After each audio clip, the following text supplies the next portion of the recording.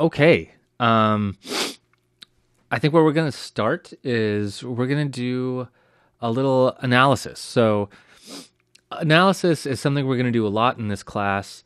And all that really means is that we're going to dissect a song and we're going to figure out what's going on harmonically. Like, and by harmonically, I mean with the chords or melody or rhythm or whatever we're working on at the time. So, to get us started, um, I picked this song by Avicii, the Shame on Me tune. Um, it's pretty popular recently, last year mostly.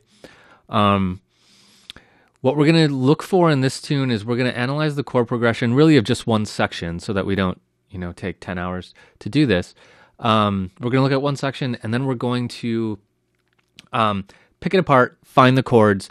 This should be all be review if you took the first uh, music theory for electronic music class. So um, we're going to build chords out of what's happening and try to find the chord progression.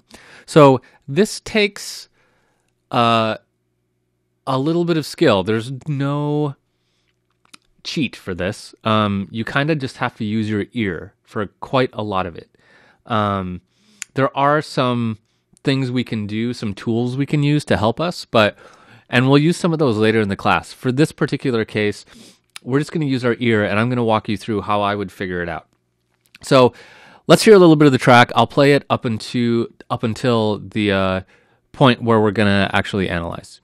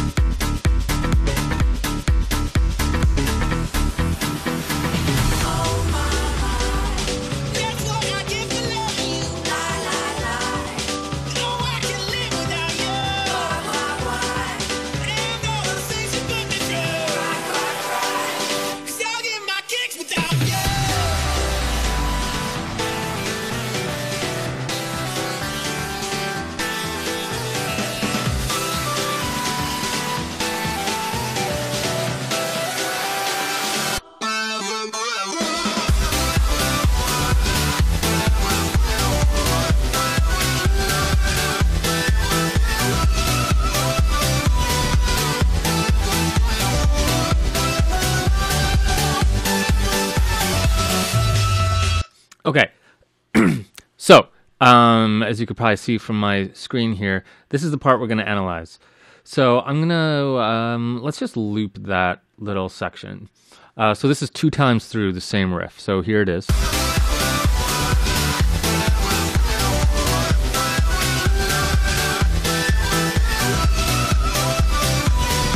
Oops. I didn't turn my loop on. There we go. Um, okay, so when I said it's two times through the same riff, what I meant was the chord progression cycles through twice. So we hear the chord progression twice. The melody is only one time or maybe even a half a time. I think it goes on longer later in the track. So let me explain that one more time to make sure I said that clearly. Um, the chord progression is four chords long. There's four chords that happen in that, and we heard. Let me just actually point out where they are. They're they happen every two beats. We get a different chord. So I'll go one, two, three, four. Now it's one again. So we have four different chords, and the, the pattern of four chords cycles through twice. Cool. So, um, when we're trying to figure something like this out, the easiest way to get a start on it when you're just using your ear is to focus in on the bass. Focus in on the the lowest note or if there isn't like a really pronounced bass line, just uh, experiment with low notes on your keyboard or on the piano roll editor or something uh, until one really latches on. Um, start with C. Uh, a lot of songs are in C, C major. So start with C, and if that doesn't work, start moving around until something sounds right. Now, whenever you're trying to find, figure out something by ear, here's the key. The key is you might play something or program something and then play it against the track at the same time as the track, and you might say, I think that sounds right. That sounds kind of right." If you say that, it's probably not right. It usually like locks in when you're when it's right. You're like, "That's it. That's totally right." So keep that in mind uh, as you do this. I don't expect you to be able to just do this, um, to just you know use your ear and figure things out. But I wanted to walk you through how I would figure out a tune. With practice, you'll be able to do this no problem. Um, so um, I skipped a step for us here, and I figured out the bass line. So here's what I hear in the bass. It might not sound super obvious to you right away, but just bear with me here. So um, let's hear just this bass line.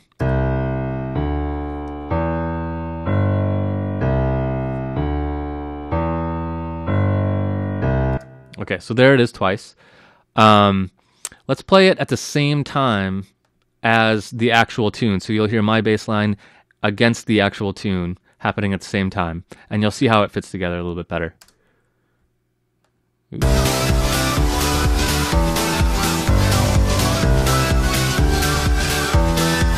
Do that again.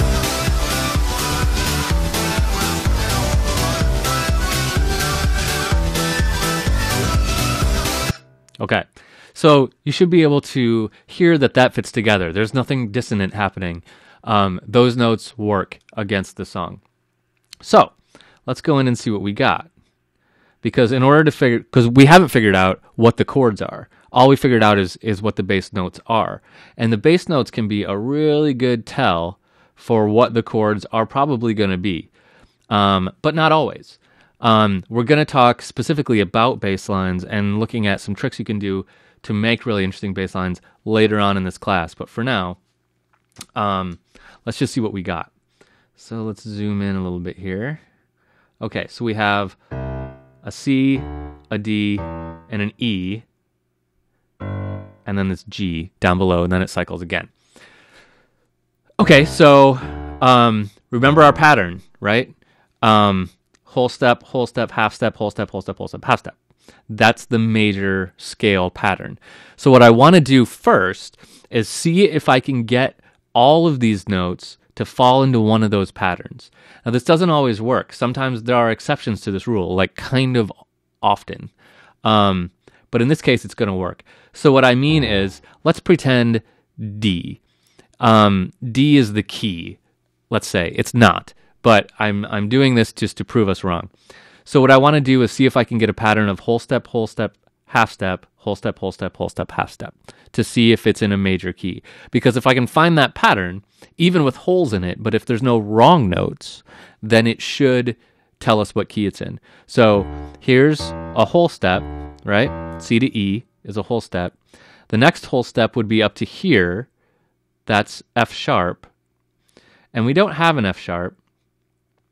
Um, but that's okay.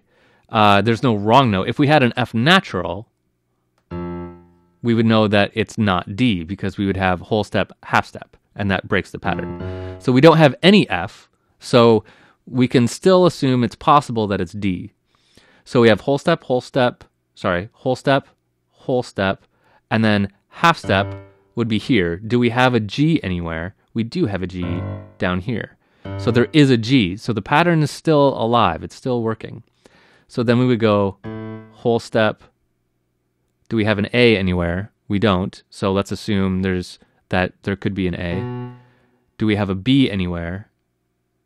We don't. And then whole step again would be C sharp. Okay, now we know we're wrong about this D business, right? Because we do have a C. C here. This pattern leads us to a C sharp. So a C sharp happens in the pattern if we start on D. So we know that D cannot be the key we're in. Okay, so I'm gonna get rid of these notes. And let's try that again from C. Okay, so whole step to D, whole step to E, and then half step would be to F. We don't have any Fs, so let's just keep going. Uh, whole step would be to G. We have a G, and it is a G, not a G sharp, so that means it works. Whole step would be to half step, or sorry, would be to A. We don't have any A's, so that's fine. Next to a B, we don't have any B's, and then again gets us back to a C. So all of our pitches work. C, D, E, and G work within C major. So we don't have any of these notes actually in the riff. Well, we have that one. Let's get rid of that. So we don't have these. Well, we have G2. We don't have these three notes in the riff. So we're guessing that those notes will work in this key, um, but it's pretty safe bet. Um, so I think the key is C. Now there are a couple other clues that will get us to the key of C. The first biggest clue is that it's the first note of the bass line. That's like the most prominent hit you over the head thing. Um, is like C, C, C. It keeps like pounding you with C over and over at the beginning of the phrase. That's a pretty good clue that it's in C. Another big clue we have is that it ends in G. If you remember from the first class, the relationship between the tonic note, which is the name of the key we're in, and the fifth of it, ha- they have a really strong relationship. G is the fifth of C. If we count up C, D, E, F, G, G is the fifth. G, the fifth, always likes to lead back to the key. So if you can find these fifth relationships, then that's a pretty good clue. Okay, all that being said, we're in the key of C major. Pretty safe assumption. Or at least this section of the song is in the key of C major. It could change. So let's take a guess at what our chords could be. Let's do our first, third, fifth chord building. So this would be the second, this is the third, the fourth, and the fifth. So I'm just counting up every other note in C major, starting with the first chord. I'll do the same thing for D. Here's D. Now I'm in the key of C major, so that's my first one. That's my third, my fourth, and my fifth from D. So five away from D, not five away from C, from the root note of the chord, not the key. Uh, and then we'll do the same for E. E, there's the third, and there's the fifth. I got to do the same for G. There's the third, and there's the fifth above G. Okay.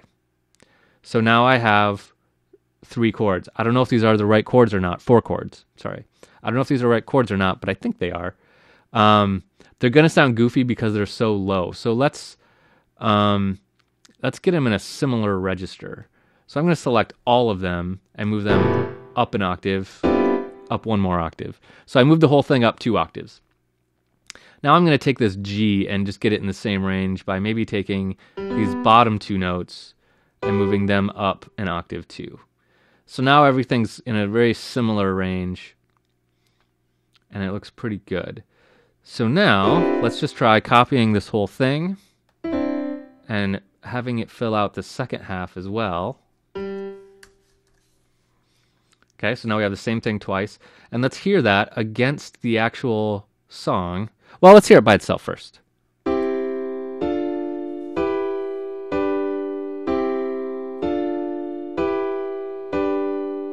Okay, let's hear it with the song and see if we guessed right.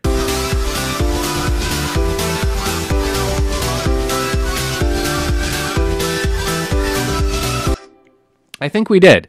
I could analyze this more and probably get nitpicky about individual notes, but um, and like where they change and maybe it changes the quality of the chord slightly. But more or less, I think we're right in knowing what chords we have here. Um, now, it might sound funny because we're using a piano in the middle of this track that doesn't have a piano. We could change the sound of these to be a, a synth or a pad or something, But really, what we're getting is the general essence of what is in this. So, all the notes that play in this span of time are in or closely related to this chord. So, remember, the chord progression is like the skeleton of the piece. Um, so we're kind of slicing everything away. We're slicing the drums away, the melodies away, the bass away, and we're just getting it down to a very simple chord progression. So uh, another way to think about it would be like the framework of your house. So if you got rid of all the crap in your house and just had like the two by four studs putting it together, that would be the chord progression of your house. Kind of a weird analogy, but maybe it works. Um, okay. So we have our general chord progression of this section of the tune. So let's hear it one more time, and maybe I'll adjust the volume a little bit of the piano to see if we can get it to fit in.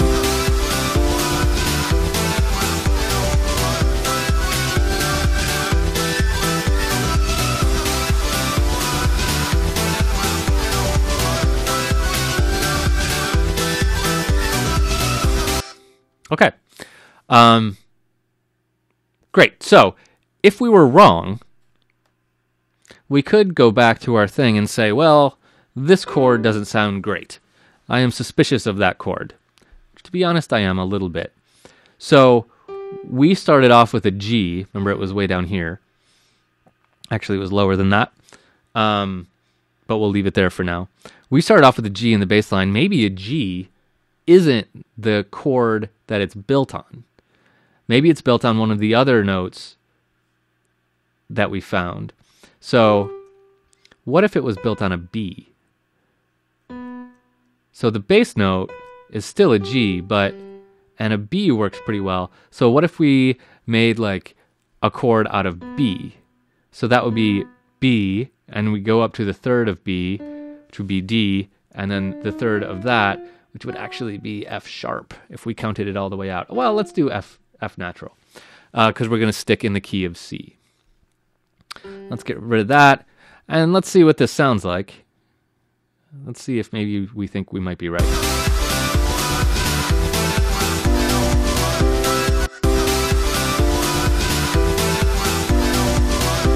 Nope, we've got one real sour note in there, right? Um, it's just not lining up. Let's try this as an F sharp just for the heck of it. Got a different flavor to it, but I don't think it's right. I think the G chord sounded more in line with the tune.